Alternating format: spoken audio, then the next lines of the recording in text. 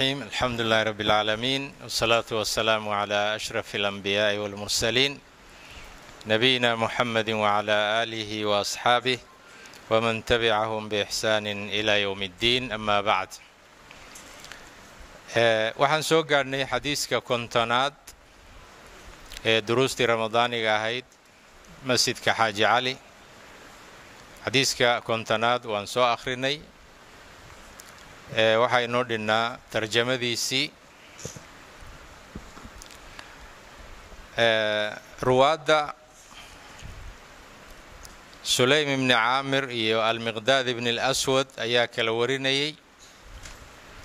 Sulaym ibni caamir alkulaaci wayuqaalu alkhabaa'i ayضa abu yaxya alximsi ayaa la odhan jiray hiqatun nin tiqa ah oo lagu kalsoon yahay oo cilmiga laga qaato ayuu ahaa. Wuxuu yidhi eh, ibn xajar halita man qaala inahu adraka anabiya sala allahu calayhi wasalam culimmada dadka yidhi qolada tidhi nebiga calayhi salaatu wasalaam wuu soo gaadhay wuu khalday oo ma soo gaadhin nebiga calayhi salaatu wasalaam ayuu leh maata sana halaathiina wa mi'a. Sanadkii boqol iyo soddonkii ayuu geeriyooday. Wa huwa taabiciyun shaamiyun hiqatun mashhuurun. Waa nin taabiciya oo ree shaam oo hiqa ahaa oo macruuf ah oo la yaqiinay. Wa qaala moxamed ibni sacad moxamed ibni sacad wuxuu leeyahay kitaab la yidhaahdo altabaqaat alkubraa altabaqaat alkubraa ayuu leh altabaqaat libni sacad bay culimmadu yidhaahdaan wa qaala moxamed ibni sacad wuxuu yidhi markuu u taariikhaynayay maata sana halaathiina wa mi'a fii khilaafati marwan ibni muxamed wa kaana hiqah wa kaana qadiiman macruufan nin la yaqaana buu ah xagga cilmiga muslimiinta dhexdooda nin taabici oo la yaqaan buu ah almiqdaad ibni اlaswad ibni camr almiqdaad ibni camr ibni thaclab ibni malik albahraani huma alkindi huma azuhri marka qabaa'ilkaas kulligood kamuusan dhalanne qaarna bahwadaag buu laahay oo xilfi buu la galay. Qaar way la degi jireenoo waa loo nisbeeyey wuu sheegayaa marka. Xaalafa abuuhu aabbihii baa bahwadaag la noqday oo la degay oo magta la bixinayay oo heshiis la galay inay wax walba wadaagaan ah kindata qolada kinda la yidhaah wa tabannaahu waxaa markaas ka maxaanku yidhaahdaa sheegtay huwa isaga al aswad ibni cabdiyaquuth azuhri marka nisbadaasba xaggaa loo tiiriya. Fa nusiba ilayhi alkindi markii la leeyahay odagaa horaa loo tiirinaya saxaabiyun mashhuurun waa saxaabi mashhuur ah min asaabiqiin saxaabadii hore islaamnimadooda ay horraysay ayuu ka mid ahaa maata sana halaahin wa halaahiin soddon iyo saddexdii markay hijradu ahayd khilaafadii cihmaan baa markaa waxaa ka dhiman laba sana iyo waxyar soddon iyo saddexdii khilaafadii abubakar waxay ku ekay saddexiyo tobankii midii cumar waxay ku ekayd saddexiyo labaatankii. Midii cuhmaan waxay ku ekayd soddon iyo shantii. Midii cali waxay ku ekayd afartankii ama afartan iyo kowda bilowgeedii mucaawiya bn abi sufyaan lixdankii ayay ku ekayd marka markuu ku leeyahy maanta sana halaahin wa halaahiin khilaafadii cuhmaan baa markaa jirta radia allahu tacaala canhu. Wa huwa ibnu sabcin ibnu sabciina sana toddobaatan jir buu ah markaas almiqdaad ibni اlaswad marka ruwaadda markii xadiiska aad dhiganaysid oo culimmadu ay xadiiska akhrinayaan markii wax la warinaya marna waxaad maqlaysaa iyadoo le almiqdaad ibni اlaswad marna waxaa la odhanayaa almiqdaad ibni camr. Marna waa aabbihii oo nasab ahaan aabba ugu ah. Marna waxaa weeye bahwadaagnimadii iyo baa loogu tiiriyey taariikhdiisa waxaa ka mida wa shahida badran beder buu xaadiray. Shahida baa hadda qoran aliftaas waa dheeri. Wa shahida badran beder buu xaadiray walmashaahida iyo goobihii dagaalka ee kale kullaha dhammaantood maca rasuulillaahi sala allahu calayhi wasalam.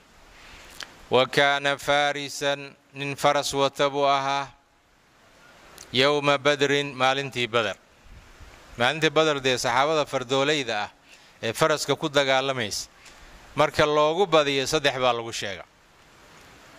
Markay ugu badan tahay saddex baa la yidhaahda laakiin miqdaad layskuma khilaafo inuu maalintaa faras wata layskuma khilaafo. Wa kaana faarisan yowma badrin walam yahbut mana sugnaanin.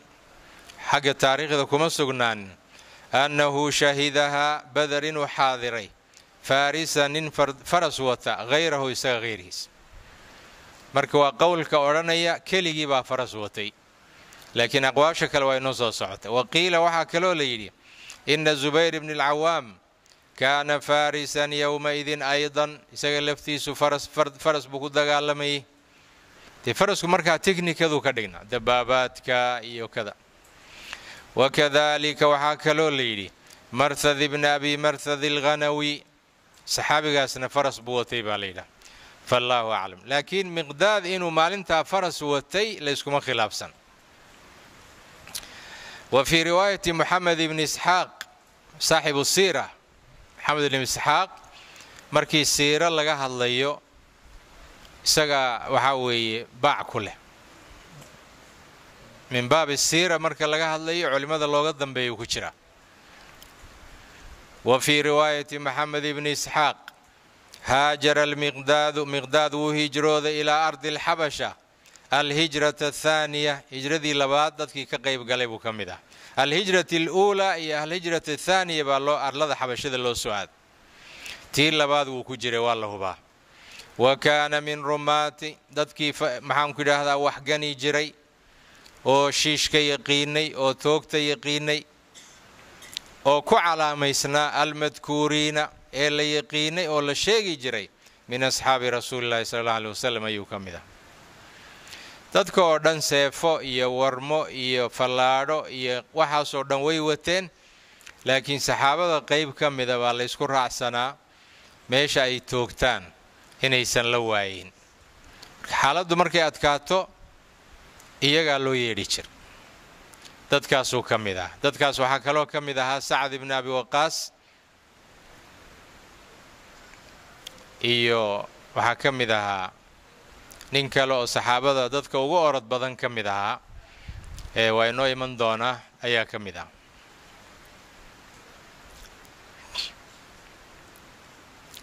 Kamaa ruwiya can cabdillaahi bni mascuudin kaana awal man adhara qofkii ugu horreeye dadkii ugu horreeyey mantu hadda waa jamc kaana wuxuu ahaa awal man adhara dadkii ugu horreeye ee muujistay. Islaamahu islaamkiisa sabcatun toddobay ahayn dadkii ugu horreeye islaamnimada bannaanka la yimid iyadoo la cabsanayo toddobay ahayn rasuulullaahi sala allahu calayhi wasalam oo isaga islaamka lagu soo dejiyey wa abuu bakrin wa cammaar ibni yaasir wa ummuhu hooyadiis cammaar hooyadiis sumaya ahayd wa suhaybin wa bilaal walmiqdaad marka hadda miqdaad maxaa meesha loo keenay hadalkan dhan miqdaad ammaantiisa in la sheego sidoo kale ammaantan waxay ku dhacaysaa abuubakar iyo cammaar iyo hooyadiis iyo suhayb iyo bilaal marka suhayb iyo hooyadii ee bilaal iyo cammaar iyo hooyadii iyo loo tarjamaynayana inaa xasuusatid wey toddobadii qof ee ugu horreeyay islaamnimada muujistay ayay ahayd in la muujista marka maxaa ka dhacay? Dee waa la garaacay waa la cadaabay. Ilaa gabadhan cammaar hooyadiisii cadaabkiiba lagu dilay. Waran baa lagu dhuftay. Bilaal oo kale shiisha waxaa weeye iyo dhagaxa make ee kulaylka ad aragtay leh ayaa la dhigi jiray doorkii oo markaa lagu garaaci jiray kulligoo saasayaan abubakar mooyeen. Abubakar mooyeen inta kale dhibkaasaa lagu hayay. Wakadalika can ibni mascuudin qaala wuxuu yidhi shahidtu waxaan goobjoog ka ahaa oon xaadiray.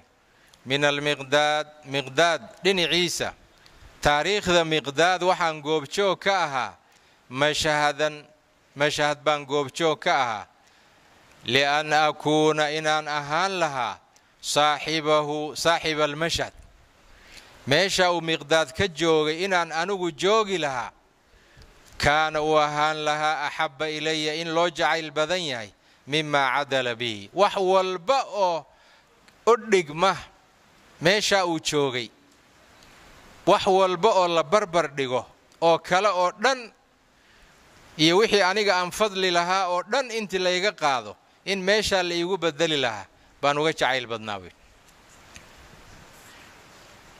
oo maxaa weye mashhadkaas waa maalintii beder wey maalintii beder saxaabadu iyo nebiga calayhi salaatu wasalaam markii ay waxa weeye ka war heleen safarkii qurayshayd ee magaalada ee madiine dhinaceeda marayay oo waxa weye is yidhaahdeen safarka soo qabsada oo safarkii waddo kale uu ku leexday qurayshna ay manqashay oo ay soo baxeen oo dagaal laysugu yimid. Dagaal bikhayri miicaadin. Iyadoon la ballamin baa dagaalkii soo muuqday. Saddex boqol iyo dhowr iyo toban bay ahayn saxaabadu. Qurayshna dagaal bay u soo diyaargarooday maalintaas hadalladii nebiga calayhi salaatu wasalaam lagu guubaabinayay oo nebiga lagu garab istaagayay hadal ka mida weeye marka? Hadal ka mida weeye. Ata nabiya sala allahu calayhi wasalam nebigu u yimid iyadoo talooyinka uu uruurinayo. Fa qaala wuxuu yidhi meeshaas saddexda dhibcooda waxaan uga jeednaa hadalka dheeraa waa waxbaa ka xadfan baa calaamaddaa loo isticmaalaa. Meeshii markaa hadda inaga khusaysay ayaan ka soo qaadnay oo hadalka cabdulaahi uu sheegayay baa kana. Fa qaala wuxuu yidhi miqdaad markuu nebiga la hadlayay calayhi salaatu wasalaam laa naquulu laka maanta ku odhan mayno. Kamaa qaala qowmu muusaa sidii qoladii muuse waa reer bani israa'iile. Limuusa muuse wixii ay ku yidhaahdeen maanta kugu odhan mayno. Oo maxay ku yidhaahdeen? Idhab anta warabbuka faqaatilaa inna haahunaa qaaciduun muusew sii soco. Adigiyo rabbiga israaca dagaalka aad rabtid in la galagala oo soo dagaalama halkaana idinku sii sugaynaa saasay ku yidhahdeen. Maanta marka maadaama aad nebigii ilaahayow calayhi salaatu wasalaam aad dagaal inaadan ka laabanin ah oo kuu muuqdo sidii reer bani israa'iil ay muuse ku yidhaahdeen kugu odhan mayno walaakin nuqaatilu waan dagaalamaynaa can yamiinika midigtaada. Xagga midig baan kaa maraynaa wa can shimaalika xagga bidixdana waan kaa maraynaa wa min bayni yadayka hortaadana waan maraynaa wa min khalfika xagga dambena afarta dhinacba waan kaa maraynaa wa fii riwaayatin jaءa almiqdaadu yowma badrin wa huwa calaa farasin. Isagoo faras wata ayuu yimid marka miqdaad wuxuu ka mid ahaa min asxaabi sufa. Masjidkaa wuxuu lahaa balbalo loo dhisay saxaabada laga yaaba inay dan yar yihiin oo matalan aysan ganacsi iyo waxba ku mashquulsanayn oo quraa ah. Waxaas islaamka loo qabanaya keliya ka shaqeeya halkaasay degganaayeen markii jihaad loo baahda iyagaa ugu horreeya markii dacwo loo baahda iyagaa ugu horreeya markii nebiga calayhi salaatu wasalaam meelaha loo baxla iyagaa ugu horreeya kuwaasuu ka mid ah. Kuwaasuu ka mid ah. Xadiiska konton iyo koowaad can ilacmash can abi saalix can abi saciidin qaala. Qaala rasuulu llaahi sala allahu calayhi wasalam yaquulu llaahu ilaahay wuxuu odhan doonaa yaa aadamu aadamow ile weli waxaan ku jirnaa maxsharkii iyo qoraxdii oo la soo dhoweeyey iyo dadkii oo la xisaabinayo iyadoo dadku ay kala tageen baa arki doonnaa jannadii iyo naarta qaybtaasaan ku jirna marka iyadoo bannaankii la taagan yahay oo dadkii la xisaabinayo qorraxdiina la soo dhoweeyey yaquulu llaahu alla wuxuu odhan doonaa yaa aadamu aadamow nabiyullaahi aadam calayhi salaam. Fayaquulu wuxuu odhanayaa aadam labbayka wasacdayka waalkhayru fii yadayka. Labbayka ay ajabtuka bacda alijaaba horeyna waan u soo marnay xajkana waa loo isticmaalaa wa arta labbayka allaahuma labbayk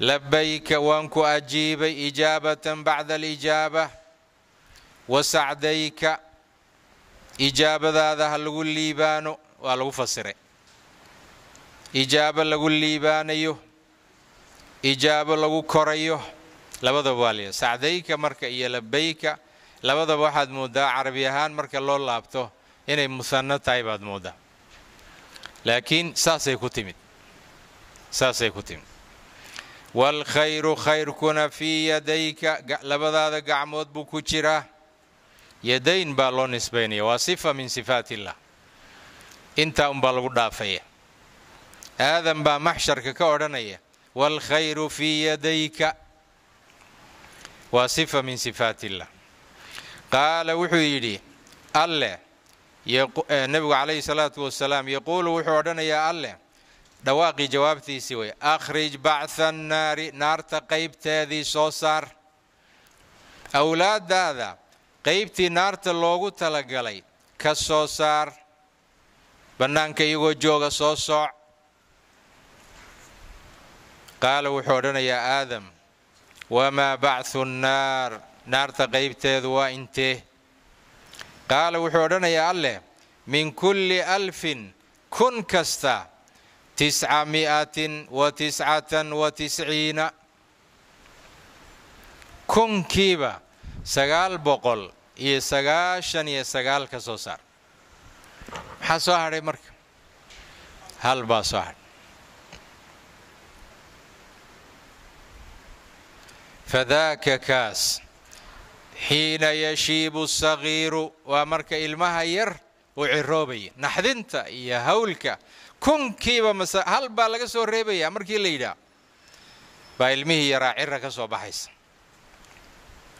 Watadacu kullu daati xamlin xamlahaa mid kasta oo xamli wadayna xamligii baa ka soo dhacaya.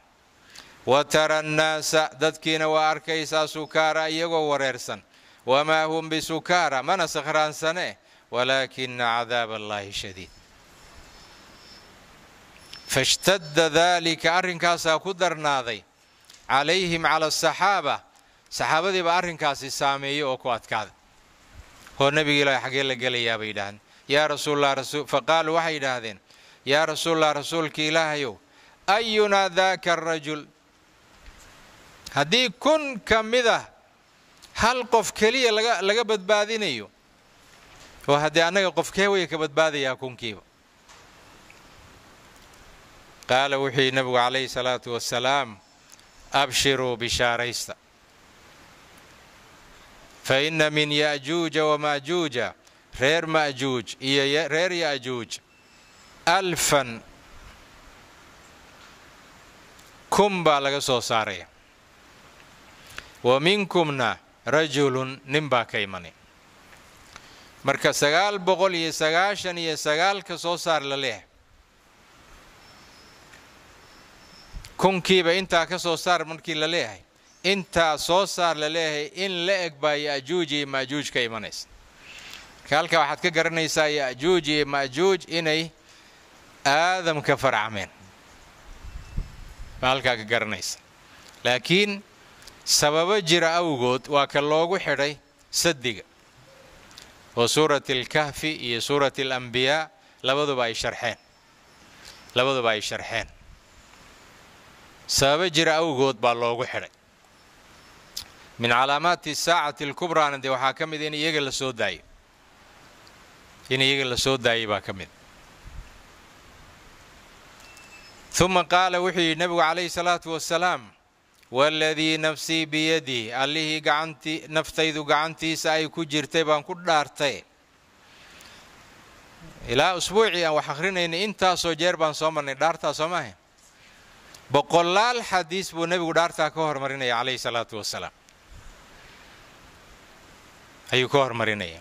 Waxyaabo waaweyn axaadiistan waa la ururiyey ay dhaartaasi ka horrayso haddii fursad aan u helno mar baan insha allah akhrin doonaa iyagaoo soocan. Haddaan fursad u helno ilaahay nagu simo. Waxyaabo waaweyn oo qofka diintiisa taabanaya oo ay laga maarmaan tahay inuu u fikiro bay dhaartaani ka horraysa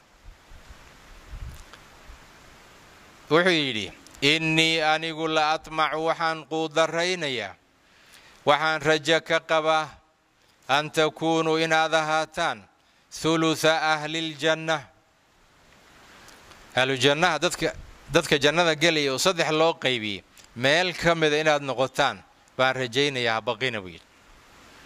Ummaddaanu ka hadlaya qaala wuxuu yidhi saxaabigii faxamidna allaha ilaahay baan ku mahadinay cabsidii baa naga degtay wa kabarnaa waan takbiirannay.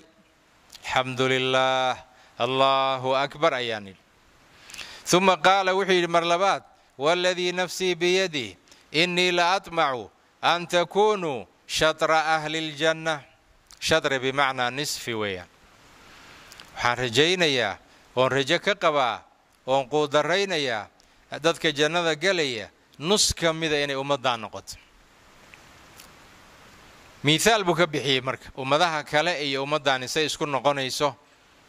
Marka adduunka la jooga siday tahay iyo marka aakhiro la taga siday noqonayan inna midlakum idinka mahalkiinna fi lumami ummadihii markii loo bandhigo ka mahali shacrati albaydaa xabatinahoo cad fii jildi thawri alaswad. Dibi madow maqaarkiisa xabad tin ah oo cad oo ku dhex jirta. Ayaad isu tihiin idinka iyo ummadihii hore. Ayaa isu tihiin. Markii ummadihii hore la fiiriyo intii ay jireen iyo ummadihii iska daba imanaya adduunka tiradoodii waagii adduunka la taagay ummadihii joogay ilaa ummaddan muxamediyada la soo gaadhayay tiradu intay dhannayd iyo ummaddan tiradeeda iyo cimrigeeda marka la ysbarbardhigo xagga adduunka yaraanteeda waxay la mid noqonayaan dibi madow oo xabadtiinoo caday ku dhex jirto. Aw iraqca ama bar raqcadu waa barta fii diraaci alximaar waxaa weeye dameer dhodhonkiisa ka muuqata. Yacni midabka dameerku caddaan ma aha asalka. Meel meel mooyeen. Waddamada qaar baa dameeruhu cadcadyiin laakiin midab kaluu leeyahay oo booraha u dhow mararka qaarna waa madow yahay. Bar yar oo ku taalla maxaanku idhaahdaa diraaciisa oo kale baa u tihiin laakiin aakhiro marka la tago hulusu ahliljanna markaa idinku noqotaan. Nisfi ahliljanna haddaad noqotaan. Dee dadkii kalea markaa yaraanaya oo bartii oo kale noqonaya. Alacmash sulaymaan ibni mahraani alasadi alkaahili abu maxamed alkuufi alacmash baa la dhihi jira ammaanta ninka maxaanku idhaahdaa sheekhaas lala dabagala u fiirso hal safxo laba oo dhammaystiran ayaan ka soo qaadanay. Laakiin haddaan damci lahayn ammaanta laga qoray inaan soo wada qaadanno dee waxa weye awood looma laha in bisha ramadaan lagu akhriyo.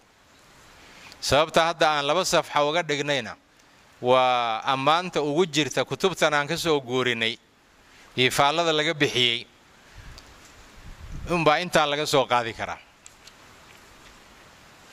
hiqatun xaafidun caarifun bilqur'aani waricun afar soo maha hiqatun xaafidun caarifun bilqiraa'aat waricun nin warica oo qiraa'aadka yaqaano oo xaafid ku ah axaadiista oo hiqa ku awey qiraa'aadkana ragga looga dambeeyo ku jira. Maata wuu geeriyooday sana sabcin aw hamaanin wa arbaciina wa mi'a. Wa kaana mawliduhu dhalashadiisu waxay ahayd awal sana ixdaa wa sittiin bilowgii sannadkii lixdan iyo kowdii hijriyada. Waa sannadkii koowaad ee khaliifkii ka dambeeyey mucaawiye. Sanadkaasu dhasha waa kow. Ra'aa wuu arkay anas ibni maalik buu arkay ilaa annahu lam yasmac minhu. Waxba laakiin muusan ka maqlin. Hadduu wax ka maqli lahaa taabici buu noqon lahaa. Laakiin wuu arkay waxba kama dhegaysan wa qaala caliy bni lmadini xafida alcilma. Cilmiga wuu xifdiyey calaa ummati muxamedin sala allahu calayhi wasalam ummadda nebi moxamed cilmiga waxaa u xifdiyey sittatun lix ammaantaasu fiirsa faliahli makkata reer maka waxaa u xifdiyey camru bnu diinaar. Saxaabadii kadib buu ka hadlaya. Saxaabadii kadib. Reer maka camri bni diinaar baa u xifdiyey. Waliahli lmadiinana ibni shihaabi zuhri baa u xifdiyey. Waliahli lkuufa abu isxaaqi asabiici baa u xifdiyey. Wa sulaymaan ibni mahraani alacmash. Waa laba markaa reer kuufa. Soo saas maaha waliahli lbasrana yaxya bni abi kahiir naaqilatan naaqila wuxuu ka wadaa saan hoos ku soo sheegnay kutubta luuqadda aan ka soo goorinay reer basre ma ahayne ninka la yidhi yaxya bni abi kahiir reer basre ma ahayne dadkii u soo guuray oo u soo intiqaalay yaa oo u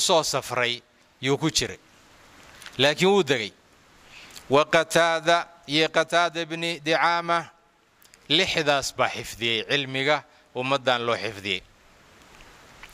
Wa qaala cabbaas idduuri min culamaa'i alqur'aan buu ahaa can sahl bni xaliima samictu ana cuyaynata yaquulu. Sabaqa alacmashu halkaas waxaan ka baqayaa ibnu cuyayna inuu yahay. Anna ibnu cuyayna inuu yahay. Yaquulu wuxuu odhanayay sabaqa alacmashu acmash waa ku hormaray asxaabahu saaxiibadiis wuxuu kaga hormaray biarbac khisaalin afar arrimood buu kaga hormaray. Dadkii culimmada la ahaa oo xerta la ahaa ee culimmadana la ahaa markii dambe afar arrin buu kaga hormaray. Kow kaana wuxuu ahaa aqra'uhum lilqur'aan. Qur'aanka isagaa ugu badiyey. Wa axfaduhum lilxadiid xadiiskana isagaa ugu xifdi badnaa. Wa aclamuhum bilfaraa'id faraa'idkana isagaa ugu yaqiina cilmulfaraa'idku wuxuu ahaa culunta mar walba dadka yaqaana ay yar yihiin. Mar walba dadka yaqaana way yaraayeen ilaa marka dambe laga yaabo inay dabar go'aan culimmada faraa'idka taqaan. Oo hadda haddaad magaalada ku baxdid magaaladeennan oo tidhaahda cilmulfaraa'id yaa ii akhrinaya waxaa laga yaabaa inaad soo heshay sheekha iyo dhowr qof oo kale inaad soo heshaa dhici karta sheekh maxamuud iyo dhowr qof oo kale inaad soo heshaa dhici karta dadka wax akhrinaya ee tirada badan waxaa laga yaabaa dhowr qof inaad soo heshid wa aclamuhum ka ugu aqoon badan bilfaraa'idi faraa'idka wadakara khaslatan ukhraa. Khaslo kalena wuu sheegay laakiin ninkan raawigaa baa hilmaamay. Wa qaala isxaabiq ibni raashid qaala lii zuhri. Zuhri wuxuu igu yidhi bilciraaqi ciraaq zuhri baa wuxuu maxaan ku idhaha zuhri baa ku odhanaya isxaaq. Wa bilciraaqi ciraaq axadun qof ma jooga yuxadisu xadiiska akhriya. Isxaaq ibni raashidow ciraaq ma laga helayaa oo ma jooga ma ku og tahay qof xadiiska akhriya? Qultu waxaan idhi nacam haa. Hal laka an aatiika bixadiidi bacdihim? Dadka ciraaq xadiiska ku akhriyeen ogahay qaarkood ma kuula imaadaa xadiiskoodii ma kugu dul akhriya ilaan zuhri cilmulxadiidkaa looga dambeeyey markii madiine la joogay. Lixdii hadda la sheegay buuna ku jiray. Faqaala lii wuxuu yidhi nacam bal ii keenaan fiiriye. Faji'tuhu waanu la imid bixadiidi alacmash acmash axaadiistii aan ka soo warinay baanu keenay. Wuu dhegaystay. Wuu dhegaystay. Sanadka iyo macnaha iyo cidda ka warinaysa waa zuhri ogow. Fa jacala yanduru fiiha. Wuxuu gudagalay inuu aad u fiiriyo. Wayaquulu uu yidhaah maa danantu walle uma malaynin. Ana bilciraaqi ciraaq. Man yuxad wa qaala moxamed bni cabdillaahi bni camaar ilmuusili mawsil baa loo nisbeeyey. Laysa fi lmuxadisiina muxadisiinta ka mid ma aha. Ahbatuu qof ka habtisan min alacmash wa mansuurin lmuctabir wa huwa habtun aydan wa huwa afdalu min alacmash mansuur baa weliba ka sii fadli badan bi haddee waxa acmash ka fadli badan talow muxuu noqonaya ilaa ana alacmasha acmash laakiin acraf waa ka aqoon badnaa bilmusnadi xadiiska musnadka ah acmash baa uga aqoon badnaa wa akharu musnadan minhu isagaana ka badnaa wa qaala axmed ibni cabdillaahi alcujli min asxaabi taariikh buu ka mid yahay cujli haddaa maqashid kitaab la yidhaahdo athiqaat buu leh kaana hiqatan habtan fi lxadiid wa kaana muxadisu ahli lkuufa fi zamaanihi kuufa dee ciraaq bay ka mid tahay waagii uu joogay reer kuufa muxadidkoodu isaguu ahaa wa can ciisa bni yuunus ciisa bni yuunus dee waa ninkaas asabiici lam nara maanaan arkin naxnu annagu annaga kumaanaan arkin wala alqarni aladii kaanuu qablana iyo qarnigii annaga naga horreeyeyba kumaanaan arag midla alacmash wamaa ra'aytu alaqniyaa aqniyadana ma arag. Wasalaatiin iyo salaadiinta cinda axadin qof agtiisa oo axqar ay ugu xaqiirsan yihiin minhum xaggooda cinda alacmash maca faqrihi wa xaajatihi baahi kasta uu qabay dhib kasta oo soo maray dadka hodanka ah iyo dadka madaxda ah cid looga xaqiraad badan yahay acmash oo uga sii jeesi badan oo agtooda aan tegaynin oo uu kala yar yahay acmash ma aragba. Wax danuhu ka lahaa inay maal leeyihiin inay madaxd yihiin danka muusan lahayn. Haddee aqniyadii iyo salaatiintii waagaa joogay sidaan loogama taariikhayni laakiin isaga intaan baa laga sheegay. Ya wa ruwiya can yaxya alqataan wuxuu yidhi idaa dakara alacmash markuu acmash sheegayo yaxya ibni saciid alqataan baa la dhihi jiray. Markuu acmash ka warramayo qaala wuxuu odhan jiray kaana min annusaaki dadka cibaadada badan buu ku jiray. Nusug waxaa laga wadaa sunnada iyo cibaadada in la waafaqo wa kaana muxaafidan cala asalaa salaadana wuu xifdin jiray fii jamaacatin wa cala asafi alwal jamaaco keliya maaha safka hore. Wa qaala yaxyaa wuxuu yidhi wuxuu odhan jiray wa huwa calaamatu lislaam islaamnimada calaamadu taagan buu ah oo meeshuu joogo islaamnimada way joogta wa qaala wakiic wuu yidhi kaana alacmashu qariiban min sabciina sana. Acmash nin u dhow buu ahaa toddobaatan jir. Maya kaana acmash wuxuu ahaa qariiban in u dhow min sabciina sana toddobaatan sana wax ku dhow. Lam tafuthu takbiiratu luulaa takbiiratu lixraamtu ma gafi jir waاkhtalaftu ilayhi qariiban min sanatayn laba sano wax ku dhow baan ku laalaabanayay oon isaga mar walba cilmi u doonanayay marba ku laalaabanaya maa ra'aytuhu yaqdii ragcatan. Isagoo ragcad salaada waajibka ah ka mida soo qadaynaya ma arag buy bimacnaa intay ka tagtay imaamka uu la tukaday uu dib ka istaagay ma arag. Wa qaala cabdulaahi bni daawuud alkhariibi maata alacmashu yowma maata. Maalintii acmash uu dhintay wuxuu dhintay wamaa khalafa. Isagoon ka tegin axadan qofoo min annaasi dadka ka mid ah acbada minhu. Qof ka cibaado badan iyadoysan jirin yuu dhintay. Wa kaana saaxiba sunna sunnada u saaxiiba buu ah abu saalix baa marka ku jiray oo isagu ka warinaya abu saalix isamaani zayaad almadani hiqatun habtun wa kaana yajlibu zayta ila alkuufa. Kuufa ayuu saliidda ka soo qaadi jiray. Waxa zayaad loogu bixiyey. Iyo samaan iyo saliidduu soo qaadi jiray uu iibin jiray. Sidaasaa loogu naanaysay. Maata sana ixdaa wa mia buu dhintay kaana yajlibu samna wazayta ila alkuufa xagga kuufa uu qaadi jira odhan laha iyada xaggeedu geyn jiray intuu qaado buu kuufa geyn jira wuu ka iibin jira wa waalidu sahal ibni wa waalidu suhayl ibni abi saalix wa saalix ibni abi saalix wa cabdullaahi ibni abi saalix kulluhum dhammaantood wiilashaas wiilashaas dhammaantood miman yarwii canhu alxadiida waa dadka aabbahood xadiis wariya saddexdoodaba markii cilmilxadiidka akhrinaysid waa ugu tegaysa. Kamaa rawaa sida uu uga wariyey huwa dakwaan abu saalix can jamiici almukhiriina lilxadiidi min asaxaaba ilaa annahu lam yarwi can anasin. Anas mooyeen lixdii kale ee saxaabada ahaa ee axaadiista ugu tiro badnaa intaba uu ka wariyey. Arday buu u noqday. Wa qaala cabdulaahi bni axmed ibni xambal wiilashii axmed ibni xambal mid ka mid oo cabdulaahi la odhan jiray. Can abiihi aabbihi wuxuu ka wariyey inuu yidhi hiqatun hiqatun buu ahaa dakwaan min ajali nnaasi dadka kuwa ugu waaweyn buu ku jiray ugu sharaf badan. Wa awthaqihim loogu kalsoon badan yahay. Waqad shahida daara daartiina wuu xaadiray lagu dilay cumaan daartii cumaan lagu dili doono zamana cumaana waagii cumaan la dilayay daartii lagu dilay wuu joogay wy wa qaala abulxasan almaymuuni wuxuu yidhi can axmed ibni xambal isagoo ka warinaya can yaxya bni aadama can ilacmash qaala wuxuu yidhi abuu saalix. Ya abuu saalix baa wuxuu yidhi isagoo acmash u sheegaya maa kuntu ma ahayn atamannaa mid tamaniyo oo jeclaysta min addunyaa adduunyada.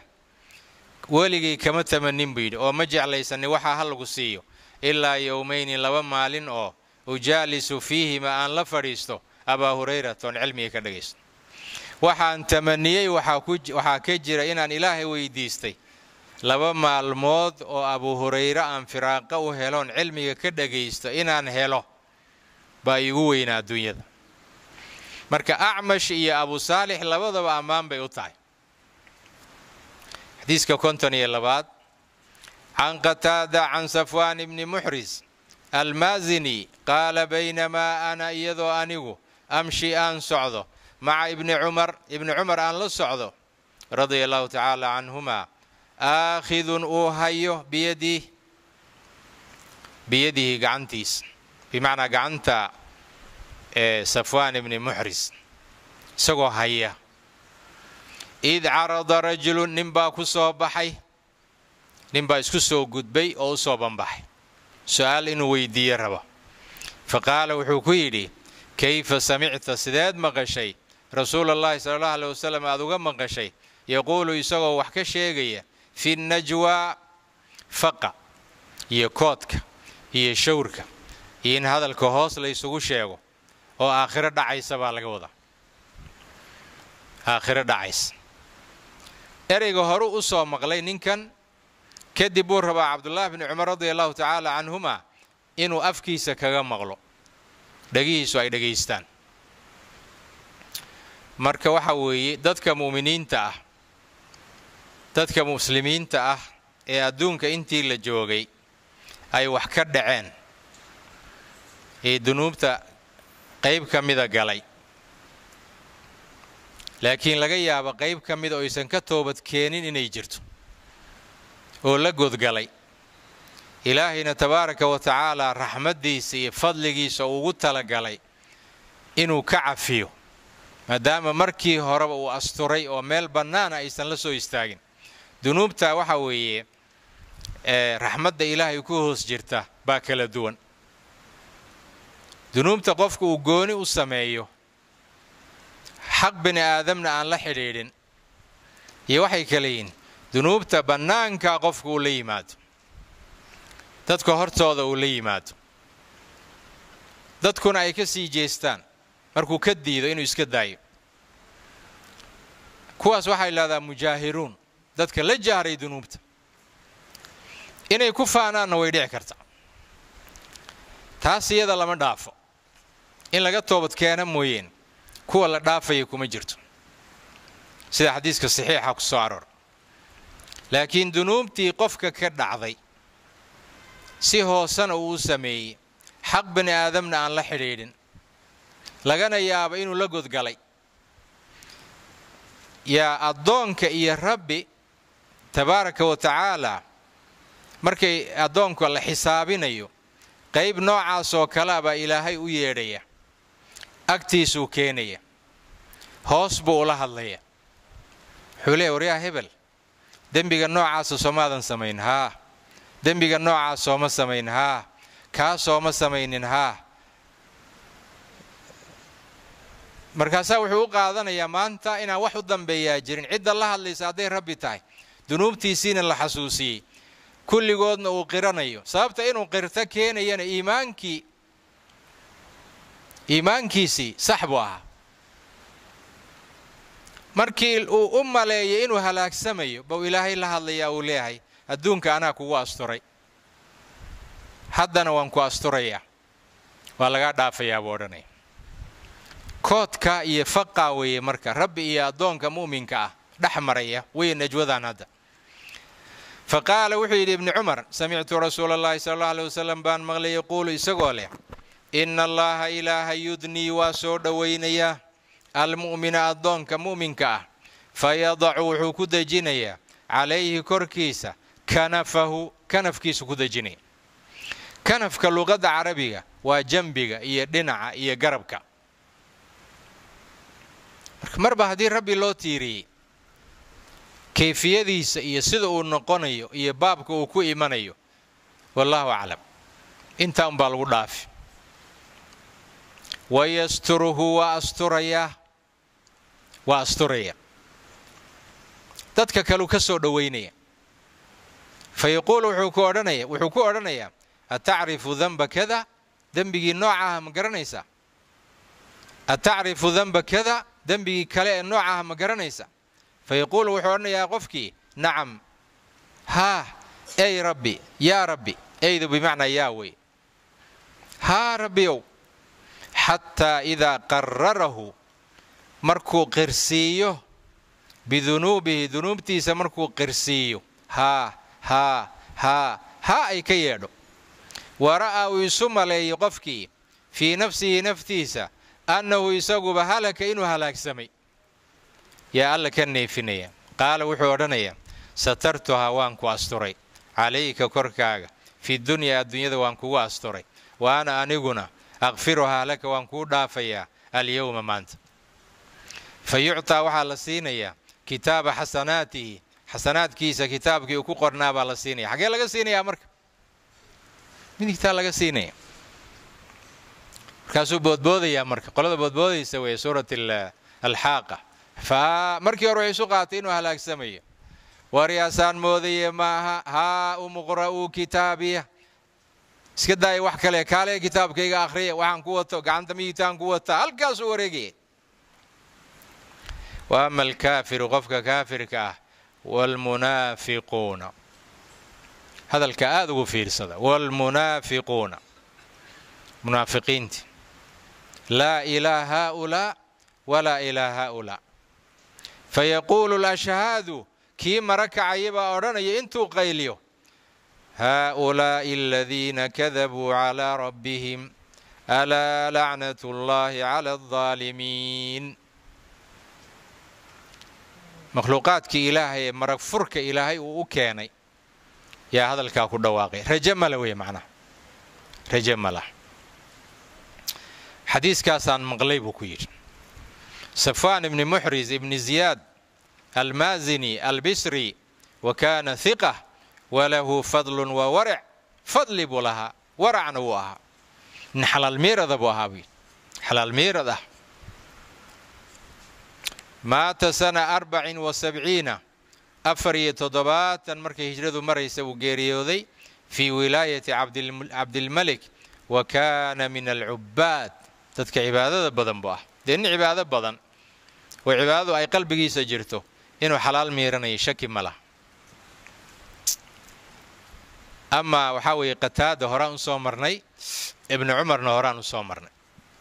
Xadiis konton iyo saddexaad can qataada can abilmutawakil annaaji can abi saciidin alkhudri radia allahu tacaala canhu can rasuuli llahi sala allahu calayh wasalam qaala idaa khalasa almu'minuun mu'miniinta markay ka soo dhammaadaan oy ka soo saafi garoobaan min annaari naarta soo ma arkays dad mu'miniinta ka mid ahaa ahlul iimaan ahaa oo kabaa'ir galay yaa camalkoodii waxyaabihii ay ka toobad keeneen aysan ku jirin camalkaasina uu keenay xagga ilaahay laga xukumay in naar looga soo jaro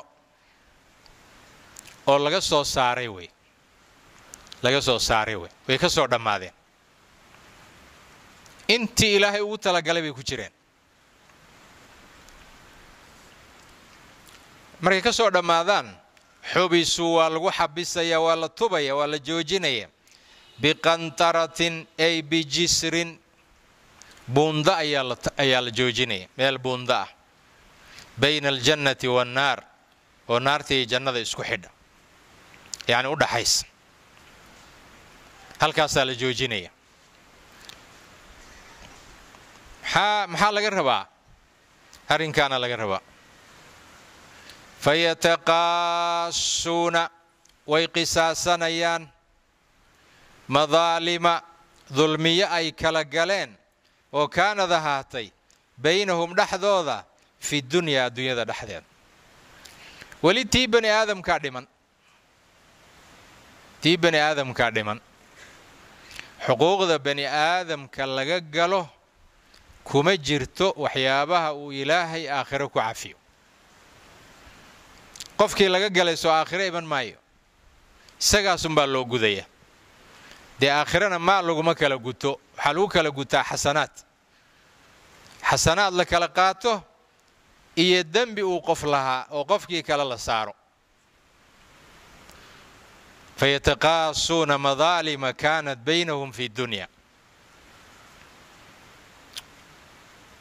qaar baa marka markay kala gutaan weli naarta in lagu celiya aan xaq u yeelanayn oo badbaadaya qaarna dib baa loogu celinayaa sida xadiiska inoo soo socda uu sheegay laga yaabo mar kale in laga soo celiyo haddii kale midda xadiiskaa soo socdana waa marka hore oo xisaabtu ay socoto kadibna qoladaana dambayso oo intii naarta la geeyey baa laga soo baxay marka. Kadib baa la kala qisaasanaya walcilmu cinda allah. Xataa idaa nuquu marka la nadiifiyo la tahiro wahudibuu la shaandheeyo oo la nadiifiyo oo la saafi yeelo. Ilan qof aan saafi ahayn jannada ma galo. Udina lahum waa loo idmayaa bidukhuuli iljanna jannadaa loo idmayaa inay galaan. Ogow hadda guryay lahaayeenoo loo sii dhisayoo ilaahay uu sii ogaayo waxaani waa waxyaabo ay soo kasbadeen ay soo marayaan. Hadduu marka nebiga calayhi salaatu wasalaam wuxuu leeyahay fawalladii nafsu muxammadin biyadi. Soo ma jeed? Arrimaha halista ah ayuu dhaartaa la imanaya. La axaduhum midkood bimaskanihi gurigiisa oo filjannati jannada ku yiilay adallu waa uga aqoonsi badan yahay. Waa uga garasho badan yahay. Adiga hadda gurigaaga markaa u sii socotid miyaa ka dhumaysa? Suurtagal baa guriga inaad ka habowdid maya. Sidaas aad gurigaaga u garanaysid waxaa ka sii daran sida qofkaan uu u garanayo gurigiisa jannada. Markii la sii daayo horuu ka dhaqaaqayaa gurigiisii jannadu aadaya ilaa qofka ugu dambeeya ee naarta laga soo saara mooyeen fi ljannati adalu bimanzilihi kaana fi dunya. Qofka laakiin ugu dambeeya isaga inuu inoo iman doono waa dhici kartaa qofka ugu dambeeya ee naarta laga soo saaro. Dabcan dee waa qofka ugu dambeeya ee jannada gelaya soo maha qofkaasi isagu intuu istaaga buu odhanayaa. Ilaahay baa odhanaya tabaaraka wa tacaala orodoo jannada gal markaasuu wuxuu tegayaa agteeda. Saasuu u fiirinayaa dadkuu arkayaa in nin walba meel halkan iyo samaa u wax la eg degan yahay. Markaasaa wuxuu u qaadanayaa inay buuxdo. Soo laabanaya wuxuu leeya waa buuxdaa waa buuxdaa marka waa iman doonaa haddii ilaha yidhahdo wax ka mida abulmutawakil annaaji caliy bni daawuud waqiila ibni du'aadna waa layidhi albisri. Daawuud mise du'aad labadaba waa layidhi mashhuurun bikunyatihi kunyadiisuu macruuf ku yahay abulmutawakil hiqatun maata wuu dhintay sana amaanin wa mia wa qiila qabla dalika waa taabici wa taabiciyun min talabati dadkii oo ardayda u ahaa baan soo guurinay marka waa taabici laakiin taabici sahlan ma min talabati jaabir bni cabdillaah wa cabdullaahi bni cabbaas wa abu saciidin alkhudri wa abi hurayra wa caaisha shantaas waxay ka mid toddobadii saxaabada ee ugu xaadiis badnaa. Shantaasu marka arday buu u noqday. Wa ummi salama. Wa qaala saalix ibni axmed ibni xambal wuxuu yidhi can abiihi aabihi axmed ibni xambal isagoo ka warinaya. Kii horena muxuu ahaa cabdulaahi ibni axmed ibni xambal aan soo marnay. Kanna waa saalix. Qaala wuxuu yidhi can abiihi abulmutawakil annaaji maa calimtu ilaa khayran. Waxaan khayr ahayn oo iga soo gaadhay ma jira diiska konton iyo afraad. Can abi hurayrata ana rasuula allahi sala allahu calayh wasalam qaala atadruuna ma garanaysaan war aqoon ma u leedihiin man ilmuflisu qofka kacay oo faramadhnaaday oo maalkiisii iyo hantidiisii hal shilin uga soo hadhin muflis. Aflasa waa kala yidhahda innagu markaan ku xeeldheeraana af soomaaliga waxaan idhaahnaa hebel wuu kacay bannaanku soo istaagay badeecaddii meheradiisii tijaaradiisii maxaanku idhaahdaa macrifadii loo lahaa bannaankaasu ka soo istaagay ma garanaysaan qaaluu waxay yidhaahdeen almuflisu fiina haddee hadda way ka jawaabayaan awal soomayna odhan jirin allah wa rasuulu aclam hadda way ka jawaabayaan sababta waxa weye waxa la weydiiyey baa dhinac adduunye xidhiidh kala leh dhinac adduunye xidhiidh kala leh. Qaaluu waxay yidhaahdeen almuflisu fiina man laa dirhama lahu walaa mataac. Waa qofka dirham iyo alaab iyo mataac iyo xoolo midna aan gacanta ku hayn. Wixii uu hayo oo dhan buu faramadhnaanka noqday. Faqaala rasuulu llahi sala alla alay wasalam ina almuflisa mufliskii min ummatii ummadayda ya'tii waa imanayaa yowma alqiyaama bisalaatin salaad buu la imanaya. Hadalkan aada ugu fiirsada bisalaatin salaad buu la imanayaa nin salaad soo tukaday weeye. Oo salaadiisu ay waxgoyso wa siyaamin soom buu la imanayaa soomkii uu soo soomay waxbuu gooyahay waa la aqbalay. Wa zakaatin zakuu wataa ajirkeedii. Saddex arkaanulislaama soo maa iyo shahaadataynkii afar soo maa maxaa ka maqa arkaanulislaam xajki. Dabcan nin hantiilo ah oo sako dhiibi jiray inuu soo xajiyey. Waa iska garanaysa marba haddii soonkii iyo salaadii iyo xajkii nin laga aqbalay uu yahay wax ka mida laga aqbalay inuu soo xajiyeyna waa iska garanaysa hadduusan isaga oon ku sii socdo uusan dhiman. Arkaanulislaam waa dhammaystay qofkan. Wa ya'tii laakiin wuu imanayaa maca haada qad shatama isagoo caayay oo aflagaadeeyey isagoo caayay haadaa qofkan wa qadafa waa duray oo waxbuu ka sheegay waa nuqsaamiyey. Haadaa midkan wa akala wuu cunay maala haadaa ninkan maalkiisiina waa soo cunay. Wa safaka waa soo daadiyey. Dama haadaa qofkan dhiiggiisiina wuu daadiyey miyuu dakhray? Ma waxbuu ku jeexay? Ma toorri buu ku muday? Ma dhagax buu ku dhuftay? Wa daraba wuu garaacay haadaa qofkan intaasoo shayna waa soo sameeyey waaya meeshii baa la keenayaa xisaabta. Ilaa waxaa soo arooray xadiis odhanaya qofka wixii maal ahaa ee xoolaha ee uu dhacay ee uusan celinin dhabarka isagoo kuwadu imanaya. Dadkii uu dilay dhabarka isagoo kuwadu imanaya. Wuxuu u qaadayaa waxaasoo dhan qaabuu u qaadaa isaga laga dhigaya.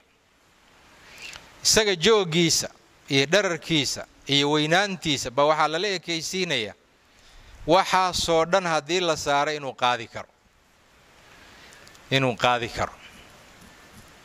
Dadkii uu soo dilay hadday qof yihiin iyo hadday lix boqol yihiinba way qaylayaan iyagoo dhaba iyagoo isaga saaran bay qaylayaan kor ka saaran. Xoolihii noolaa ayaguna waa qaarkoodna waa ciyayaan qaarkood waa ololayaan qaarkood waa dananayaan. Noocii cida ay lahaan jireen. Korkiisay ka dhawaaqayaan. Saasaa marka la xisaabinaya fii yowmin kaana miqdaaruhu hamsiina alfa sana. Konton sano walciyaadu billah. Markaasaa waxaa leeyay fa haada nin walba waa imanaya. Kana imanaya wuxuu leeya halayga siiya xaqay fa yucطaa haada waa la siinaya ila ninkaani xoola ma wata xasanaadun buu wataa salaad buu wataa zakuu wataa sion buu wataa min xasanaatihi xasanaadkiisaa laga siin mid kalaa soo istaagi wa haadaana min xasanaati mid kalaa soo istaagi wa haada min xasanaati fain faniyad hadday dhammaato maalan xasanaatuhu xasanaadkiisu hadday dhammaadaan qabla an yuqdaa maa calayhi inta aan laga gudanin wixii lagu lahaa ka hor hadday xasanaadkii ka dhammaadaan ukhida min khataayaahum kuwaan sugaya ee dembiga u haystay ee gardarrada ku haystay dunuubtoodii laga xisaabinayay qayb ka mida baa la soo qaadaya. Fa turixad waa la saarayaa calayhi korkiisa mar hadduu xasanaad la'aan yahay ahlu tawxiidba ha ahaado waa in naarta la soo marsiiyo. Uma turixa fi nnaar naartaa lagu tuurayaa marka. Qofkaasi ma camal yaraan buu naarta ku galay mise dulmi buu naarta ku galay? Dulmi buu naarta ku galay. Dulmi buu naarta ku galay. Bilaash qur'aanka uma soo aroorin. Alaa lacnat ullaahi cala aldaalimiin qur'aanka bilaash uguma soo aroorin. Marka dulmiga bini aadamka laga galo. Yaryaraysi ma leh. Maanta qofku waa ka toobad keeni kara. Wax la qoslo ama maxaanku yidhaahdaa la yidhaahdo waxaan ku yidhaahdaa suurtagal ma inaa hebel ag tago. Ma hebel baa saa yeelay. Maaniya hebel arrinta arrinku saas wuu ka wenya wuu ka wenya kan xadiiskan soo socda fiiri. Xadiis konton iyo shanaad can abi hurayrata radia allahu tacaala canhu ana rasuula اllahi sala allah alay wasalam qaala latu'addunna waad gudaysaan ood gudaysaan ood gudaysaan alxuquuqa xuquuqdii waad iska gudaysaan walle ma joogaysaan oo xuquuqda ma iska gudaysaan hadda mise xaaladan baa la sugaysaan latu'addunna waad gudaysaan ood gudaysaan alxuquuqa xuquuqdii tii bani aadamkaa laga hadlaya middan kale waa xuquuq adiga ilaah idinka dhaxaysa iyadu waa wixii ugu muhiimsanay addoonnimadaadu ay ku dhisnayd. Laakiin midii bani aadamka lama cafinayo xuquuqda ilaahay uu kugu leehay markaysan shirki ahayn. Dee markaad ugu liidatid ugu liidatid ugu liidatid waa lagu xisaabinaya waa lagu xisaabinaya xisaabtaa lagu adkaynaya xisaabtaa lagu adkaynaya latu'addunna alxuquuqa ilaa ahliha. Soo ma arkays ilaa ahliha. Ilaa ahliha yowma alqiyaamati maalinta qiyaamada xuquuqdii addoommada walle waad celin doontaan qaab aad u celisaanba ogaada xataa yuqaada ilaa loo qisaaso lishaati neefkii adhiga ahaa ee aljalxaa ee seenyada ahayd neefkii adhiga ahaa en geesaha lahayn ee seenya soo mahay waxaan dhihi jir aan lahayn min ashaati shaati neefkii adhiga ah looga qisaaso alqarnaa ee geesaha lahaa xataa xayawaanaadkii markii loo kala qisaasa baa la odhanayaa kunuu turaaban. Laakiin heerkaasaa la gaadhsiinaya. Haddii marka laba neef oo xoolaa oon mukallaf ahayn oo aan dembi laga qorayn si cadaaladda ilaahay cadaaladda ilaahay si ay bannaanka u timaaddo. Ilaa awal waa la diidi jiray ay bannaanka u timaaddo. Cid walba ay ka hesha dhinaceeda xayawaankii baa loo kala qisaasaya bini aadamkii xaguu jiraa marka. Marka walaalayaal bil dulmi laga toobad keeno ama cafis la dalbado oo bisha ramadaan looga dhow yahay ma jirto. Tuftaxu abwaabu asamaa wa tuqallaqu abwaabu aljaxiim wa tugallu maradatu shayaatiin wax walba oo khayr ahaa albaabada u furan. wax walba oo shar ahaana albaabada u xidhan. maanta qofkii aan albaabada khayrka ka gelin bilaha kale lama huba inuu ka gelayo. hadduu qofku madax yahay hadduu maalqabeen yahay hadduu oday yahay wax walba darajo kasta uu leeyahay meeshaan wuu soo istaagaya